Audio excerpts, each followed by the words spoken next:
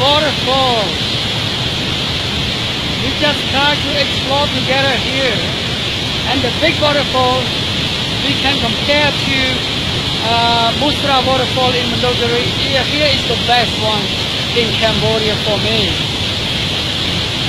So we really enjoy enjoyful, we really joyful with the place that we are staying now.